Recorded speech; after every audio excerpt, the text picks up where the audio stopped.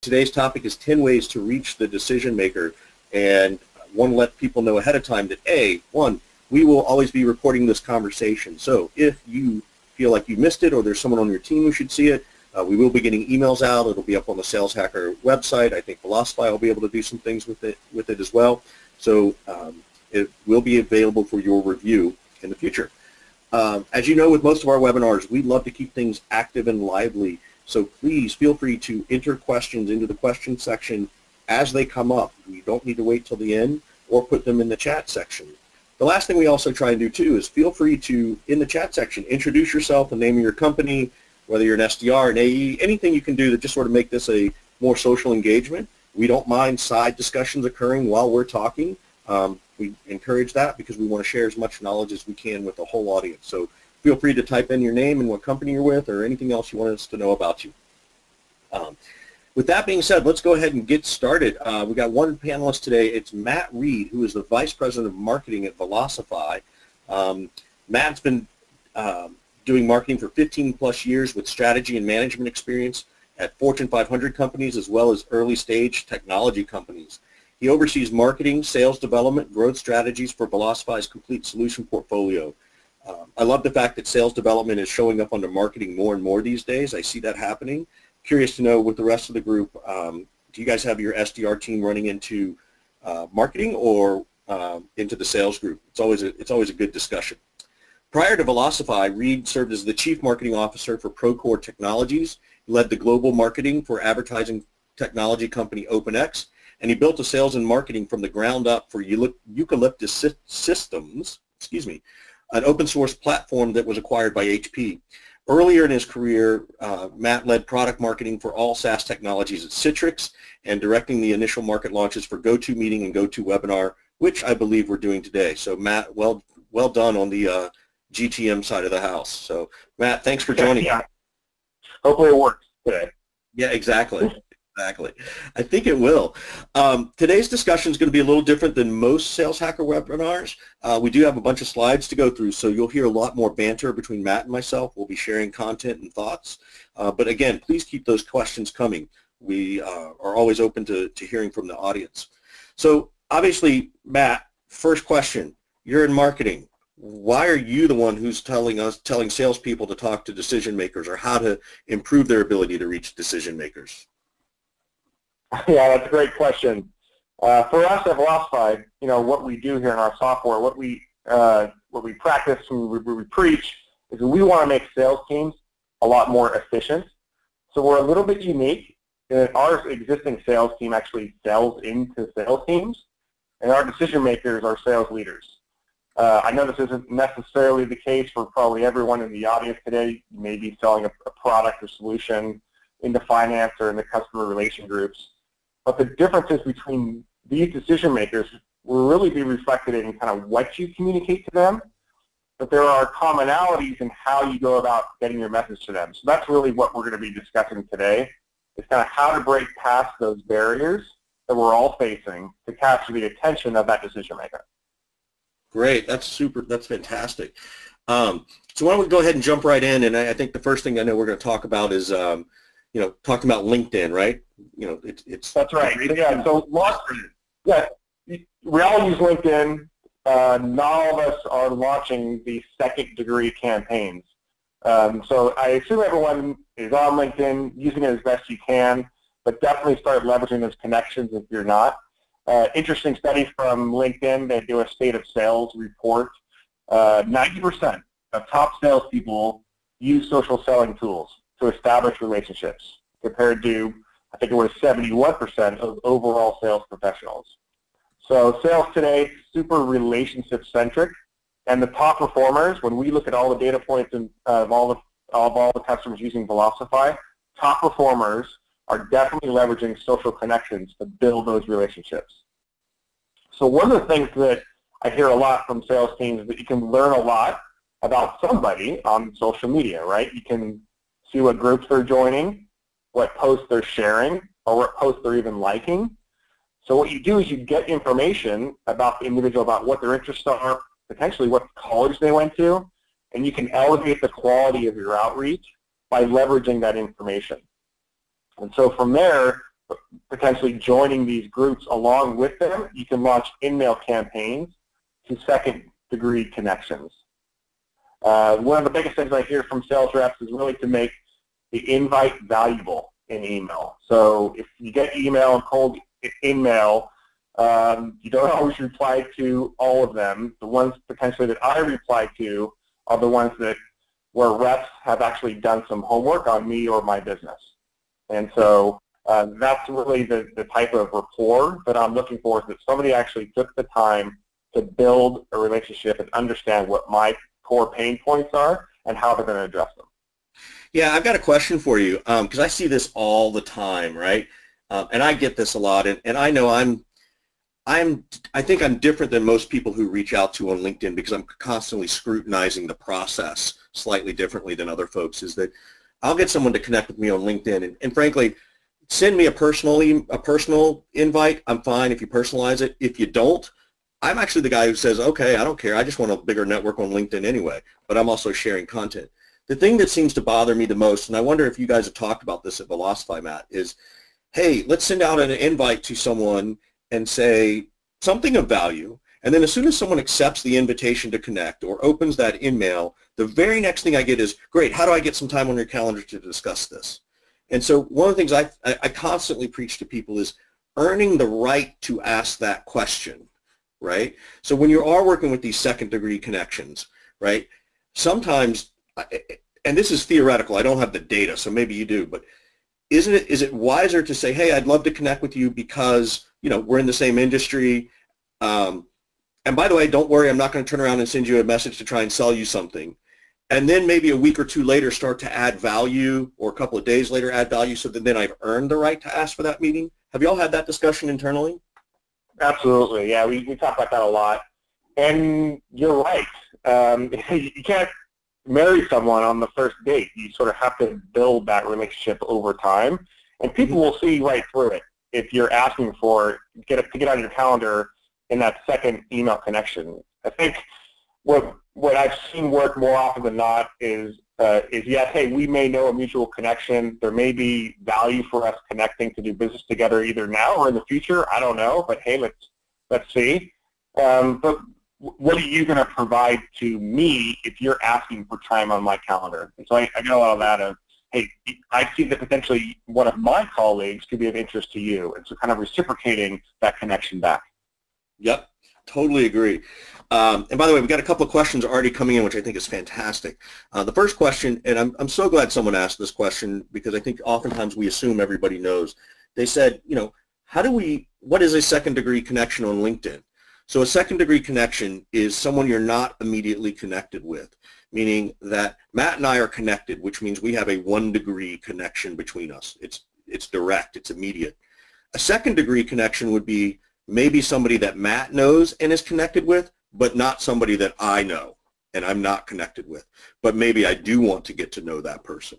So when you're thinking about your second degree connections, one of the things I encourage people to do when you launch this campaign is look for the second degree connections that are connected to your CEO, your VP of marketing, these higher titles so that you can try and leverage that relationship in your second degree connection campaign and get your leadership to help you with those things. If they can't, then they're you know, really missing the opportunity.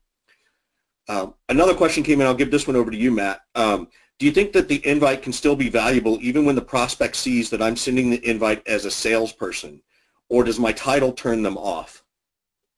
uh, I think savvy marketers and salespeople. I, I, live in the world of selling into salespeople, so uh, you know maybe I'm I'm biased in my answer, but but yes, the title throws me off and a lot of our customers off because we're aware we're living in it. Uh, I'm not so certain it does for all industries, uh, but certainly, you know, LinkedIn in, in mails are becoming more popular with outreach programs that are sort of done through campaigns that are a joint campaign between marketing and, and BDR and sales through what you hear about now with account-based everything. Mm-hmm. And so as that becomes more popular and that those phrasings starts to become more realized and the action of those campaigns starts to be implemented across more and more businesses, mm-hmm. I do think people are going to become more aware that this is this is part of a program and you've got to be a little bit more unique. Got it. Yep. And I, I agree with you on that one. Um, I also encourage particularly uh, SDRs or salespeople in prospecting emails, I encourage people to just take their title out. Just put your name and your phone number in your signature line. Um, you know, I, I, I think it just helps a little bit. It's less distracting that way anyway. Uh, but let's go ahead and move forward on to the next topic. Thanks for those questions, everybody. We appreciate it. So, you know, I think the, the next thing really is um, you got to get creative in doing this, right? And one of the best ways to do this is to just ask for some industry advice around something. Um, you're, it's non-threatening. You're putting someone else on a pedestal. It's not a pedestal so high that you can't also be there, but you're acknowledging their expertise, which makes them feel good, right? So psychologically, let's talk about that. There's a, there's a famous um, psychologist, Stanley Milgram, who did an experiment on the subway. And he had his students get on a New York City subway and just ask someone sitting down for his or their his or her seat. You know, would you mind if I have your seat? They found out that 68% of the people surrendered their seat. Now, on the control side, or maybe that was the control side, the other side of the group, um, he ran another variation where the experimenter asked for people to give the seat, but gave a really lame excuse. Like, um, they would hold up a book and say, hey, would it be possible if I could get your seat because I can't read my book standing up? Um, and the percentage of people who gave up their seat dropped to 38%. So you went from 68% to 38%. And the lesson here is that it seems like people will be altruistic if you simply just ask a simple question, right? If you ask for something simple, then they will be more altruistic about it. And if you're trying to get the, the attention of the decision maker, starting by asking some industry advice that's relevant to them, not something that's lame, uh, when it comes to discussing your offering in language, then it's going to be a whole lot better. So if you say, hey, can I have a meeting, that's going to feel lame. If you say, hey, can I get some industry advice from someone, from you, you're going to get more out of it. That's what that's, that is um, indicating. Yeah, that's um, that's something we see a lot of as well. Is that can I get a meeting? You know, what's your schedule look like next Tuesday? Uh, it's very common, and so um, yeah, I think people want to provide help, and um, you know, stroking someone's ego, ego, for lack of a better phrase, isn't a bad thing when you start asking people for a little bit of advice. People actually want to provide it. Yep. I, th- I think that's true. There's there's also a, a, comment, but that can turn this into a question. Is um, you know, oftentimes, Matt, depending on your the the skill set of your, and let's talk about top of the funnel, the SDR. In this case, we're trying to get the first meeting set up. Just being very direct with them also is helpful, right? Hey, I'm contacting you because we help companies do blank and blank. We thought you'd be interested in having a quick discussion about it. Have you, has your team tried something like that? Yeah, absolutely. Definitely. Yeah, that, that works a lot better. That's great. Awesome. All right, let, us go ahead and move forward to our, our third tip. Third tip, I'll take this one, is lost lamb approach, or in Sandler sales, it's often called playing dumb. Uh, so skip the fluff to be genuine. So what you can do is you can not, not only just you know tap into the altruistic side of human nature when you're trying to identify a decision maker. So I've seen reps effectively take this lost lamb approach. Really the idea is to do a call or an email and say or write something like, hey, I'm a little bit lost. Maybe you can help me find the right person to talk to. So instead of just coming out directly coming out with a with a pitch, talking about yourself or your company, you're asking for help. It's more disarming, but you got to be really direct and concise. Just skip the fluff, be genuine in your ask, and you'll get a better response. Just getting actually the name of the decision maker when you have when you use this approach can actually set you up on, on the right path to an opportunity. Uh, in addition to actually getting that name, you can go above and beyond by looking at this as an opportunity to really develop a relationship potentially with the gatekeeper. So ask some questions, and then potentially they could be um, your advocate as you move to uh, understand who the decision maker is. Absolutely. I think that's great. There's one thing I'll, I'll add to this. Um, I learned this actually from Aaron Ross, uh, you know, Predictable Revenue, who I think we all know and have read about the best pace and tone to ask questions when you're talking to people, and this is a great way to do it, is the same pace and tone you use when you are lost and are asking for directions, or in the moment where someone has asked you for directions and you're giving directions. When you're lost, you're a little vulnerable. And that's what you're saying. Hey, I'm a little lost. Can you help me figure out who the right person to talk to is? We solved this problem. Do you know who I should talk to at your organization about that? Right? And I think that that's a great thing to do is understand your pace and tone very, very well. Also, when, when you're asking for some direction and who you should be talking to, don't I encourage people not to talk about what your company does, but what pains you solve, because that puts it in the context of your proposed client, of your prospect. We solve this pain. Who should I talk to? As opposed to saying, hey, we're the leader in such and such and such and such. Who would I talk to about that? That's the part I think where people miss an opportunity. Great stuff. Yeah. Uh, we got another question actually coming from the audience. This goes back to um, you know asking for industry advice. The question was, is that a little bit disingenuous? How do you convert this person from being an advisor to a customer? Uh, I certainly have an answer to that, Matt. But if you if you want to tackle that question first, uh, feel free. Yeah, so uh, th- this happens to me where people ask for my advice because they've done some homework on potentially where what webinar I've spoken at before, or uh, what event I'm going to be speaking at, or uh, something around my background or what I've worked at a company, or that I've mentioned what I have in my sales technology stack as an example. So they come to me for advice. Um, and as we get to talking, um, we understand each other's business business a little bit better. It doesn't always have to be disingenuous for sure. It can be very genuine that somebody is actually looking for advice and guess what? I could be a great fit for their solution as well. So I've actually acquired solutions by uh, by providing advice to uh, to second degree connections. Yep. And and uh, Gabriel, the, the gentleman who's asked this question, what I also think this means too is that when you're asking for someone's advice and they have given you their advice, I think you've then earned the right to say, hey, thank you so much. I appreciate that advice. That's really good is it okay if I just tell you 30 seconds about what we do just so you know who we are and what I do? And very few people will ever say, no, I don't want to know who you are or, why, or, or what you do. Like, if you find that person, then, yeah, get off the phone with them just as fast as they want to get off the phone with you. They're not worth your time. Um, but most people go, yeah, tell me what you do. And they'll sort of open their mind up and go, oh, that's interesting. They'll say, okay, that's great. And then you have the opportunity to say, you know, respectfully, could we have a business discussion? And you've at least earned the right to ask that question. And then based on that pace and tone I talked about, you can ask that question in a non-threatening way. And if they say, no, we're, we're not in the need of that, it's like, hey, no problem. I totally get it.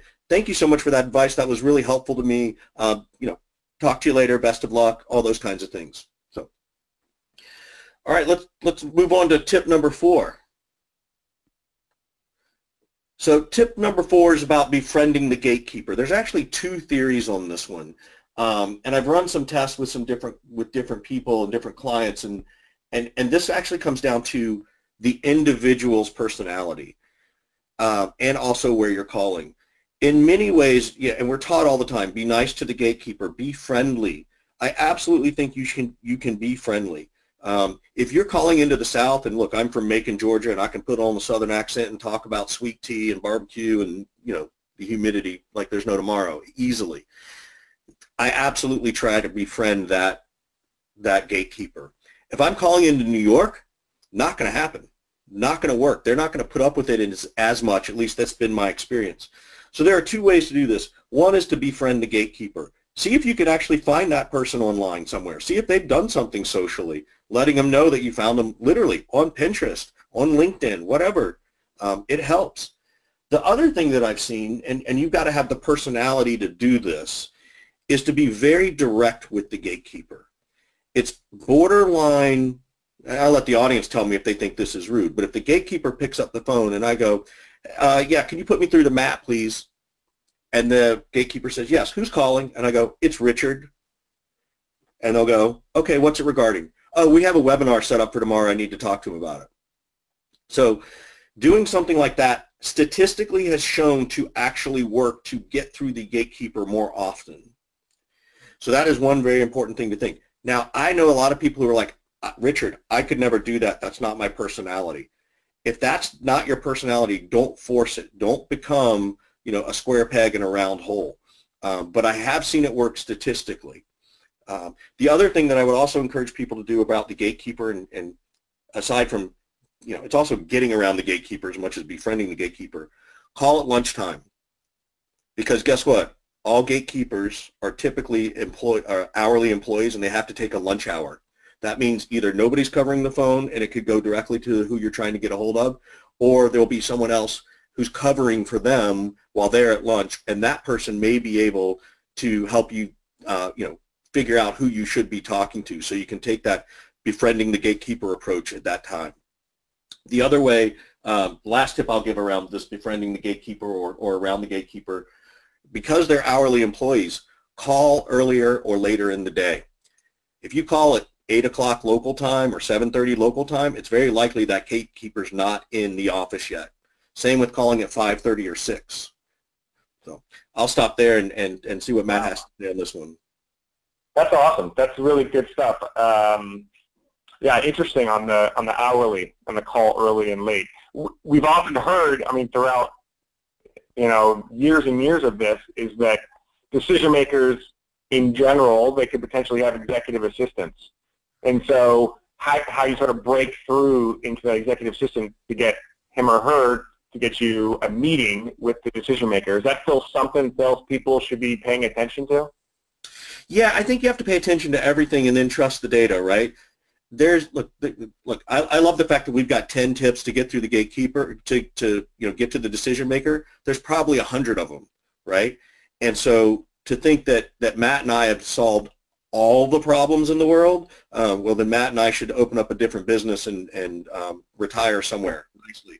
Uh, so I think you have to try all of these things and be willing to do it. What the only thing I ever encourage people to do is don't keep doing the same thing over and over again.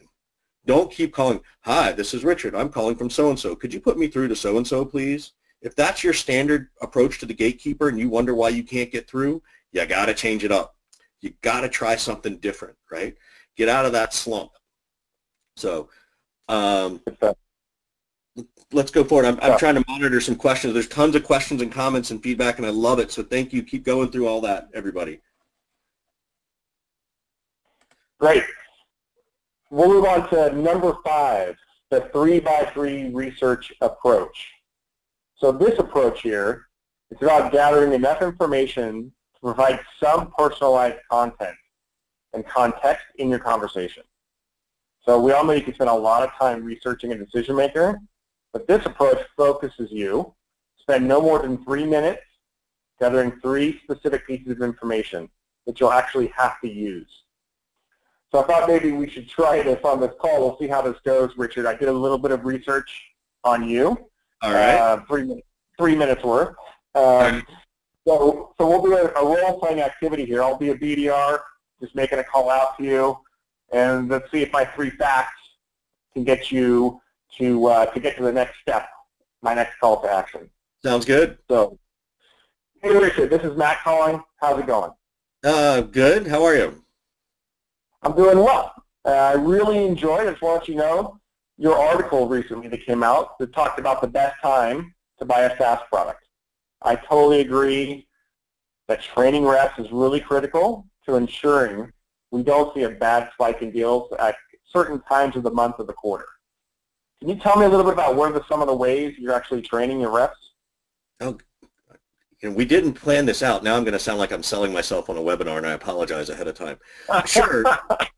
one, one of the things that we do uh, with our training is we will always talk about some level of a theory or a concept. Maybe we'll talk about a respect contract or the way people make buying decisions at a psychological level. So one of the things I always do is talk about the theory for five minutes, but then with the sales team in the room, we talk about what that sounds like in a Velocify sales conversation if I were training Velocify so that we can take these theoretical concepts and apply them to the day-to-day, everyday use that your sales reps are actually having so that we make sure that they mm-hmm. walk out with scripts or those little golden nuggets of what to say and how to say it um, so that, that the training isn't just this theoretical thing. On top of that, it makes it a much more engaging sales training, so it's, it often sticks better.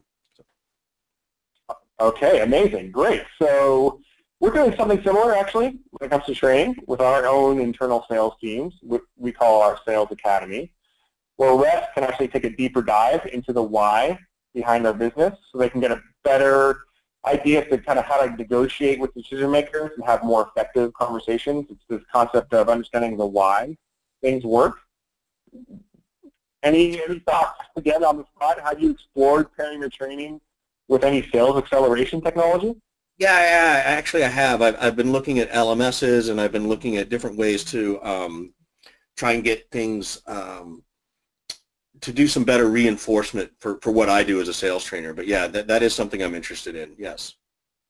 Okay, great. So we both really sounds like we understand the value of shortening that sales cycle, accelerating that path to close. Um, can we set up a time to meet the next 30 minutes so I can walk you through exactly what our solution has done for companies that look like you? Um, yeah, I guess I really wasn't expecting that, but sure, yeah. Okay. So thanks for playing along. exactly. Yeah. Um, so, so a quick conversation. So the goal of it was, right, I wanted to personalize some information uh, that I found out from Richard, right? So he had written an article. I referenced it. I referenced the importance of sales training on, on shortening that sales cycle. And I talked about the importance of explaining the why to sales reps, basically using what, what Richard had said. So it, was a conversation, I know it was a little bit forced, but it wasn't just kind of pushing my objectives. I wanted to bring Richard into the conversation, and I wouldn't be able to do that if I hadn't done this three by three approach. Yep, I love it. I, I agree completely.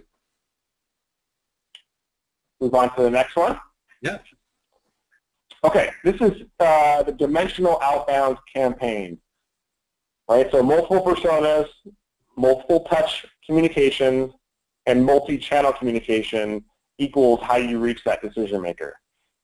So if you're reaching out to a cold account and you aren't sure who the decision maker is, you've got to have your reps engage in, in an outbound campaign.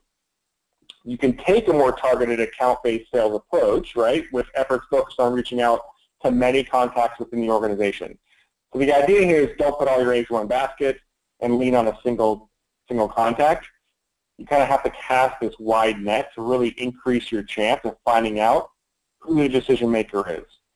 Uh, interestingly enough, we, you know, we have a, a millions of data points here with our sales technology. We do lots of research and studies on contact strategy.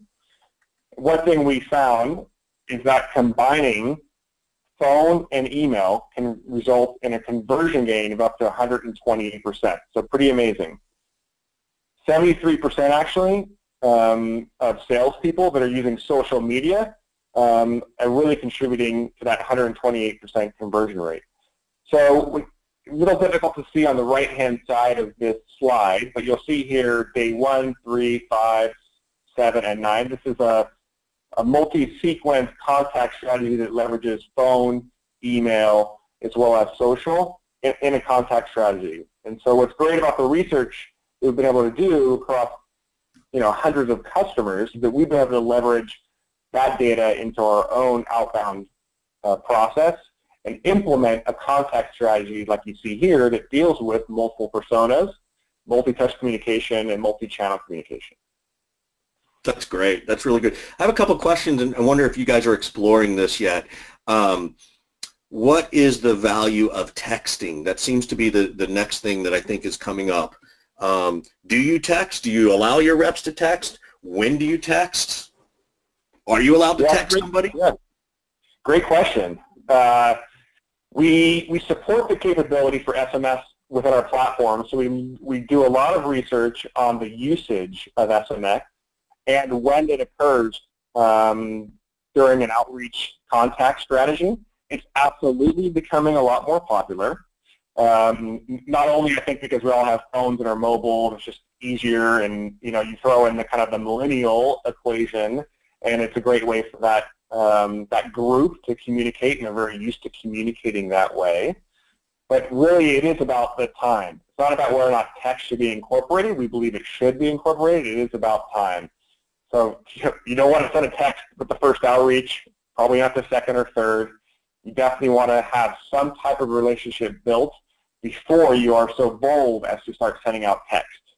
Uh, I see a lot of text happening during the negotiation phase of the sales process, where a relationship has been built, you know, the solution has been um, approved uh, by decision makers and influencers, and now we're getting down to kind of the brass tacks of, you know, when do we sign? I see a lot of texting happen then. Got it. Yeah, um, a good a good question that's sort of um, question. So when do you earn the right to text somebody? Have you have you do you need to ask their permission in your in, in your understanding? What is the thought? Yeah, I think um, when, I, talk to reps about this particular question, it's it's after a social in uh, environment or engagement or contact has occurred. So a lunch has happened, um, a, a, you know, a dinner, a happy hour with a prospect, something like that where phone numbers have been exchanged. Oh, text me your phone number so that uh, we can get in touch if anything happens. And that's sort of asking for that permission. And then when you see that that uh, you know that come through, you know, live face to face with that individual, that's sort of an approval that it's okay now. We can communicate this way. What if they put their cell phone number in their email address in their email signature? Hmm. I, I said uh, to reps and uh, um, to call, but not text until relationship is built. Okay. And I think that that's pretty consistent with what reps hear, hear from me. They don't feel really comfortable. Texting is, I think, is just another layer of communication that's a little bit deeper. Right. Right. So, to, and, and I'm, I'm really hammering in on this topic because I think it's coming up more and more. And, and again, you know, I'm going to give some advice and keep in mind that I run my own company. So if someone wants to get on Twitter and bash me, because that's what everybody's afraid is going to happen, my, you know, my, I, I, I mean, I care, but I don't care. So I have to answer to myself. So it's easier than if I'm a rep. This has been my opinion. If someone has publicly displayed their mobile phone or a phone number, I've earned the right to send that text or to make that phone call. Now, I might agree with you, Matt, that maybe I should try and leave a voicemail first before I ever text them. And it's um, because I at least want to make the effort to follow sort of what we know as standard protocol. But at some point, you know, I think texting is going to become the norm. And so I encourage people, if you want to, you know, try it with two or three people, right? Encourage, I do encourage that. One of the things that I've done too is that if I've emailed someone back and forth and they haven't gotten back in touch with me, but I have their cell phone number or I've had a conversation, I always find those funny pictures of, you know, just Google cat sitting by the phone. And I've literally texted people pictures of cats sitting by the phone going, hey, I don't want to abuse the text thing, but you haven't gotten back to me. So I'll try and use humor as a way to get someone to respond fortunately for me, in my experience, I haven't blown up on myself. No one's gotten angry at me. Um, so I'm not telling everybody to rush out and try this theory that Richard just suggested. You work for an organization in many cases. Your organization may not want you to do that or take that risk. So always be conscious and conservative in your approach at first.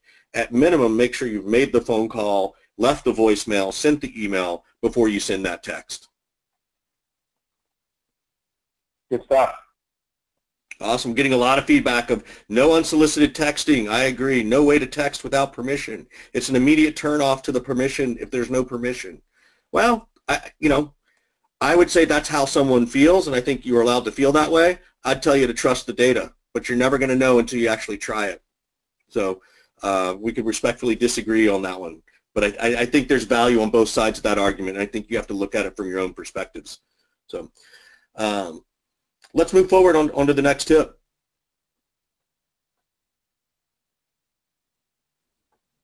So the next one we've got um, is obviously we talked about a little bit is you know calling at different times of the day. Um, if you're using a software like a Velocify and you can see when your pickup rates are occurring more often, you by all means should follow the data. You need to follow that data. I ran, once ran a call center and we literally sold newspaper subscriptions. And we found the best time of day to call into Reno, Nevada was 11 to 12, 11 a.m. to 12 p.m. Who would ever think that people are going to be home on 11 to 12? And it was the most bizarre thing. But because the data told us that, that's what we did. We followed the data. So um, the other thing about about uh, calling is call at different times of the day. If you call um, at one o'clock in the afternoon every day, well, and you're not getting answers, well, there's you know it's pretty easy to understand why. So make sure that you change up your call patterns and based on local time zones. Yeah, that's great. Um, you definitely want to call at 4 p.m. every day, you know, for the next five days, right? So the the optimal call sequence that I kind of referenced in a, in a, in a previous slide um, is something we directly pulled from our research on the, just the millions of data points in our system, right? So if you want to increase contact rates by, you know, 100 plus percent, you've got to have a sequence over a 15-day period. Yep. Absolutely. Have you guys determined, just out of curiosity, how many touches it's taking? Have you aggregated your own data to go, Richard, it's going to take on average these days eight phone calls and 14 emails and 26,000 text messages or whatever it is. What, what are you guys seeing on a regular basis? Yeah, we see that the majority of leads uh, aren't contacted. so like a third of them, not a majority, a third, which is super high. As a marketer, it kills me. Um, and then very few after that only get contacted once. Um, so really, if you're in sales, if you literally just contact your leads more than once, you have a step up uh, over your competition. And uh, people do um, accept calls and voicemails, you know, five, six, seven, eight times before they get back to you. You're, you're planting a seed in their head. They're going to get back to you. They forget. You're going to plant another seed. It's going to grow and grow. What we found with our research is that you should be contacting through, through these various email and, and phone and, uh, and social outreach about six to seven times before you really truly give up on a lead. Okay. So you're seeing six to seven is the magic touch. Correct. Okay. And you're and, and again I just want to sort of summarize what you said. Six to seven touches, that includes email, phone call with voicemail or without voicemail? Somewhere. With voicemail. With, with voicemail. a voicemail. And also a LinkedIn, at least? Yes, okay. potentially, potentially LinkedIn as well. Yep. Okay. Great. So, so that I think that's a real smart nugget for people to think about as you're building your outbound cadence. Those are the things you need to do, and if you're not doing seven to eight touches, then you're you're you're missing an opportunity. It sounds like. So, uh, that's great. Well, let's let's go on to the next slide. Uh, tip number eight, which is about direct mail. Someone actually uh, asked this question earlier in the group. It's why we didn't answer it then. Is that direct mail is absolutely cool again, right? What's old is new. Um, we've gotten so caught up in the immediacy of the digital world that we've forgotten the physical world. And um, if you're particularly if you're caught on this account-based uh, sales trend, direct mail is a tremendous part of a successful campaign. Um, it's becoming much more used on a more frequent basis. Um, and, you know, there are two stories I want to tell. Uh, last week, I, my wife did a wonderful thing and she got us tickets to the Masters, so I went to the Masters tournament on Thursday. You are not allowed to bring any kind of beeper, cell phone, recording device, camera, anything into that place. And if you can imagine being eight hours without a digital thing attached to your body, it truly changed the experience to what it should be, which is absorbing what's going on around you. We had more conversations with strangers than we'd ever had and we couldn't remember. And it just really added to that. So getting rid of, getting away from the digital and back to the physical has a much more meaningful impact in a lot of ways. The second story I, I, I, I want to share is, and think about this, there's something great about getting a piece of mail that's not junk mail right? We get so much junk mail every day. It's like that once a month when a letter or an invitation or something comes in, it actually psychologically makes us feel better. I've got two little boys, and they love getting the birthday invitations from other kids. They get so joyful when they get an invitation. They love it when they get the thank you card from the other kid, right? the kids are young, so at this stage the parent's writing it and the kid is just kind of scribbling their name. But the joy that that brings in a child is exactly the same emotional impact you're going to have with the direct mail piece. What you do differently, though, is, is make it a meaningful direct mail piece. Yeah, coffee mug is cool. That's okay. That works. I get it. But at some point, we all have enough coffee mugs. I have one client um, uh, that focuses on account-based sales, and they actually send a book out. And depending on whether or not they're sending it to a VP of marketing, they'll highlight certain parts of the book and put a little uh, a little bookmark in there for the marketing person. If they're sending it to a head of sales, they'll highlight a different section of the book. It shows thoughtfulness. It shows meaningfulness. So this this whole idea of sending something is absolutely smart and good, and it's going to help you get that response later on. Uh, Matt, what has y'all's experience been with direct mail? Yeah, definitely. We yeah, it's been fun doing direct mail as it comes back in in vogue. I guess I, I don't know if it ever left. We my company works with B2C as well as B2B companies, um, and obviously in, in, the B2C world we see a lot of a lot of direct mail. But me as a as a B2B marketer, going back in direct mail is always fun, um, and it's definitely engaging. And the conversion rates are extremely high over digital campaigns, especially mm-hmm. if you join digital and direct together in a unified campaign along with your BDR team, the conversion rates are amazing. So we actually had one uh, in Q1. We sent out branded champagne flutes uh, in, a, in a box that said, are you popping bottles this month? The idea was really to connect uh, sales team's quarter crushing month to champagne celebrations and kind of how Velocify software can help every month be a celebratory month. And so our reps able to follow up with email messaging and voicemails that reference that, that gift and those champagne flutes. Um, so, you know, we use pretty simple email subject lines for follow-ups. You know, Did you receive my package or gift? You know, looking to fill the champagne flutes I sent you. So those kind of intriguing kind of email follow-ups um, got responses.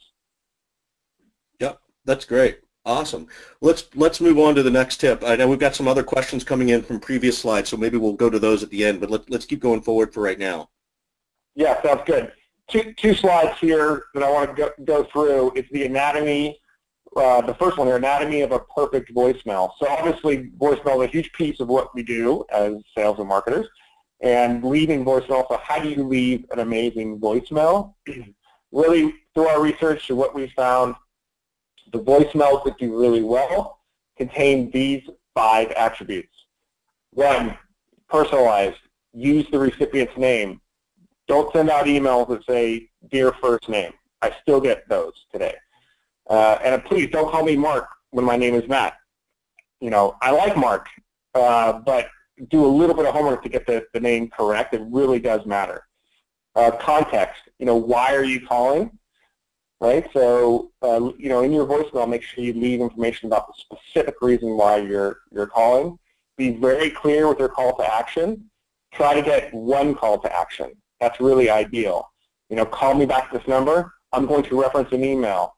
Call me, you know, do the instructions in the email. What, I'm going to see you at this event. I can't wait to see you at this event. Be very clear.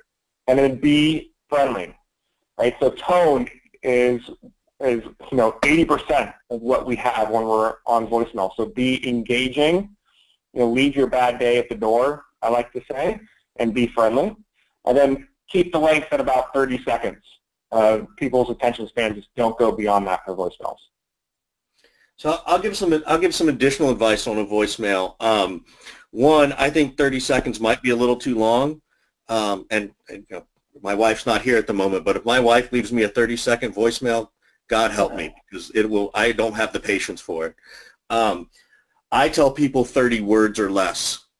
You got 30 words to leave a voicemail, and don't make these your first words. Hi, this is Richard calling from Velocify.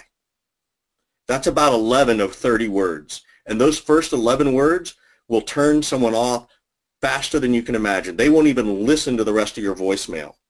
So the context is really strong. I really love that. So for me, a perfect voicemail will sound something like this. Uh, hey, Matt, uh, the reason for my call today is we solve this problem for these types of companies. How can I get 15 minutes on your calendar? That's about it. And I do it in 30 words or less. Um, if I can't get beyond that, if I go any longer than that, much like on some of these slides today, I've probably over-talked a little bit because I'm a sales guy. Um, then that, that, that to me sends a big, a big bad red flag to the people I'm trying to call into. So the thing that I want, yeah, the other thing I'll add is don't tell people in a voicemail what you do. Tell people what problems you solve, right? Hi, we're Velocify. We're the leading telephony software company that does blank, blank, and blank. Nobody cares what you do. They could, they could, they couldn't give a shit what you do. They want to know what problem you solve that they have. That's what makes people respond. Agreed. Agreed. Love it. it, it a lot of this actually translates to, to this next slide on number nine. Yep. the perfect email. You kind of have to do the same the same type of thing. Stick to the basics when you're crafting that perfect email. That's going to increase the likelihood of getting that decision maker's attention. Yep. And, and, what kind of examples do you give? You know, what what kind of things do your sales reps say? Right. We know what you sell, like you know, you're Velocify, but what are the things that are compelling? Yeah. So I think effective messaging really, you know, that provide great visuals. So uh, in our software, we're able to set uh, one of the things is prioritization rules that can be applied to all of your reps. So if I'm saying an email, I'll say something like, what if I told you that you could clone your best rep? That technology might be underway, but I have something that's super close. Salespeople who use prioritization technology are able to work 12% more leads in the same amount of time. Imagine what that could do for your business. You know, stop. So something like that, I think, is uh, is pretty useful, and our team uses that kind of uh, that kind of context as well. No, I think that's great. You're you're talking about the solution you can provide them, and you're making them admit that wow, there's an actual positive benefit to that. I think that's fantastic. That's really really great. Um, when you do uh, emails, do you do a word count? Yeah. What what's the word count for you guys? Uh, 50 to 75. Okay. And why is it 50 to 75? Like, uh, I, I think I know the answer to this question, but why do you think that? Uh, I think people only, I don't know, read, um, people have short attention spans just like in voicemail, but um, I think they're, um, they, really don't have time, and I think they're, they're going to make that decision pretty quickly, and we're to junk you or not. Fair enough. Um, one of the things that I, I remind people too is that and I don't know if you'll have this data or not, but I've read, I want to say some of the email platforms out there that we all use. Um, someone has said that 60% of all emails are first read on a mobile device, regardless of their anything else. So that means that A, you got about one thumb scroll before you can get, before you lose their attention. That's the first thing. You also need to make sure that in that email you have a single call to action such as what's the best way to get 15 minutes on your calendar? with whom do I speak at your company about this issue, right? A single call to action. No more than one question mark can go in your email, in my opinion. I, obviously, with the text that you use, that there might be more than one. I could I can appreciate that. So yeah, you're you're yeah you're absolutely right about the mobile piece. Definitely, that was uh, we see we see a lot of that uh, mobile usage uh, in our in our platform, and and you're so right. You get one scroll. yep. Yep.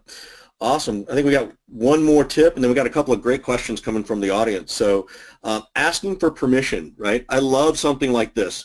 I don't mind, quote unquote, asking for permission um, in many cases. What I don't want people to do is to apologize for calling, right? I don't want, if someone, if you're lucky enough, right? The only thing that happens in sales that's lucky is someone picks up the phone, right? But if you are in that moment where someone actually picks up the phone, um, don't say things like, oh, I'm sorry I caught you. Uh, oh, is now a good time?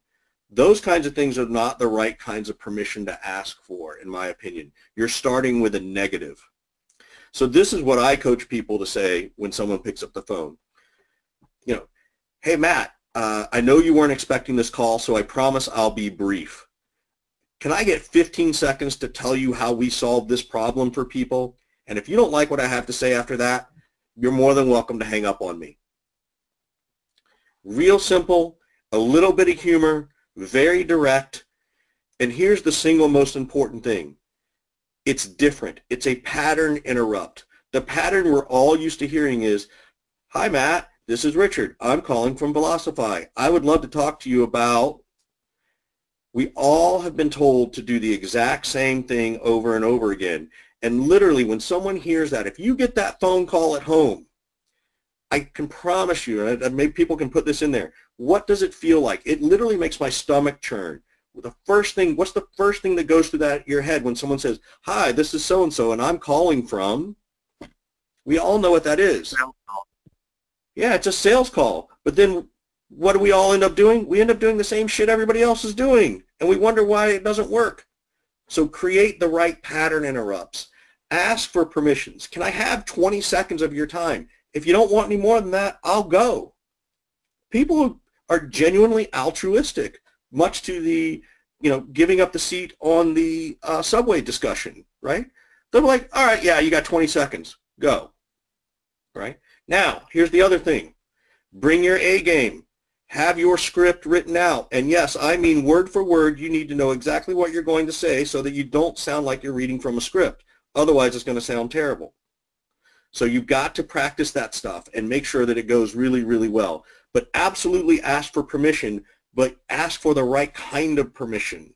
Don't apologize when you start. Matt, what are you guys trying? What, what kinds of things are you doing? Yeah, so uh, I think we're following your your advice uh, truthfully. Is that um, you know we try to be unique with using interesting uh, numbers like 47 seconds. Uh, you know, people, wow, that's weird. And we've also we've tried everything from um, things like no subject, no text in the subject line to you know my name plus your name in a subject line, and yeah, a lot of it comes down to personality of sales reps too. Is what we found is that um, you know we try to be as prescriptive as possible as Velocify because we understand that having a consistent sales process drives results across the whole team, and then putting in a little flavor for each individual sales rep uh, that makes them unique um, is, is kind of fun that we have here too. And we actually talk about best emails, best voicemails, best ways to get uh, people to help you uh, on our on our monthly you know sales sales calls or when we follow up on the on the previous month's success. Great, that's awesome. Hey, we've got a couple of really interesting questions coming in from the audience. I want to ask these um, and get your opinion on them. Uh, this one goes back to LinkedIn and InMails.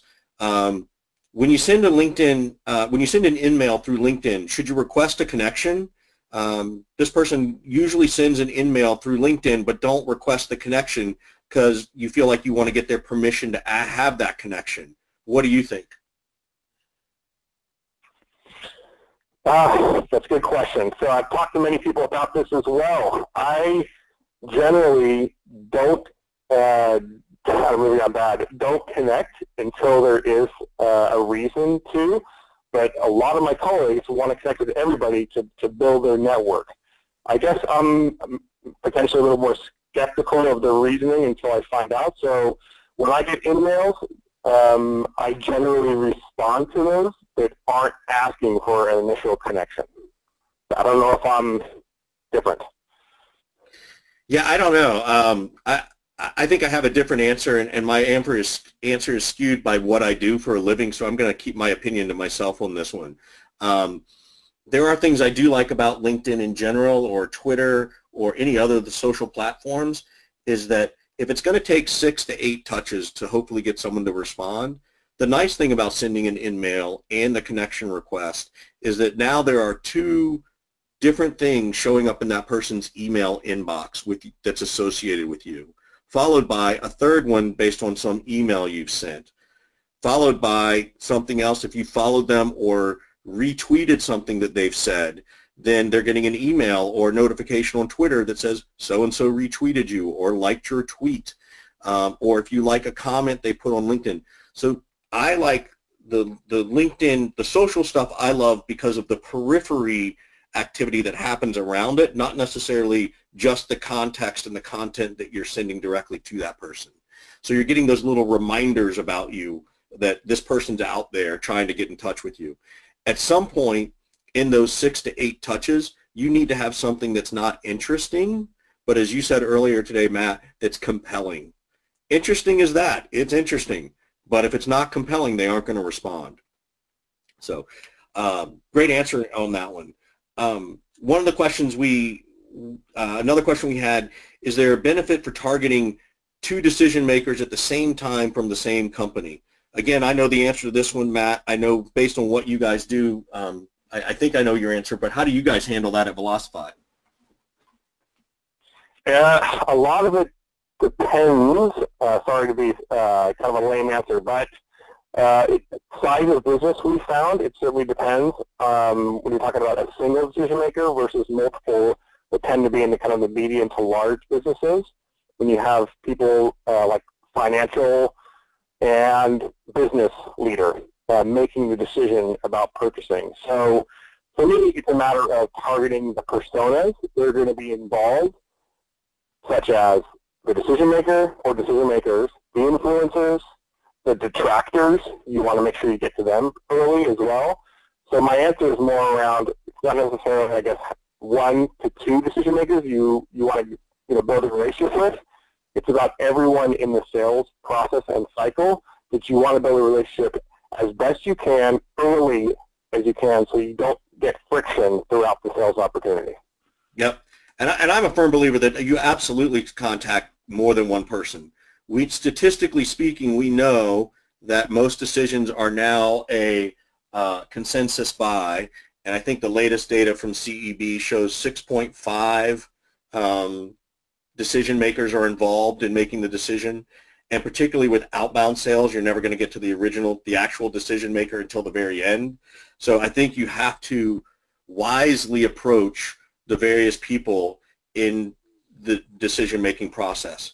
However, the one thing I will say, and, and I know I know Matt, you'll comment on this or agree with this, is that before you just start randomly reaching out to people, you need to make sure you understand who your ideal uh, company profiles are and who your ideal customer profiles are by title and by role so that you know which people you should be contacting at that company and what the pains of that individual are compared to the other person.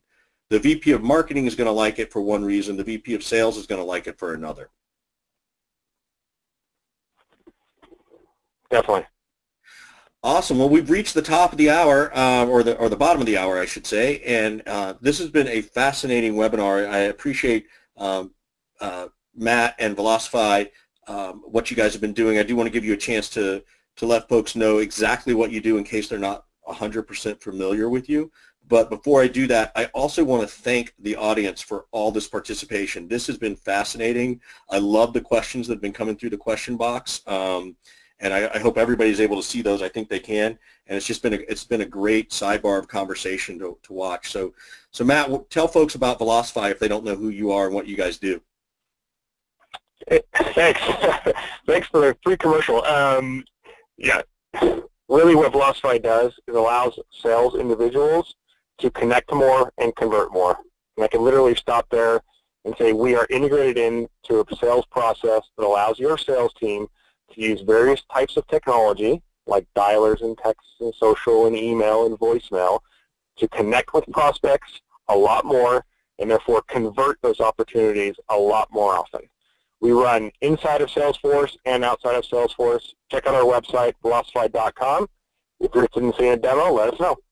Great. If people want to get in touch with you, how can they do that? You got an email address you're willing to share? As long as they don't sure. sell you? M, sure. M, that's okay too. Mreed at velocify.com. Awesome. Great, Matt. Thanks so much, everybody. Uh, thank you again for staying on. We appreciate it. You can always reach me, Richard at saleshacker.com if you have a question or comment, and we will get this recording up and posted soon. Thanks, everybody. Have a great day.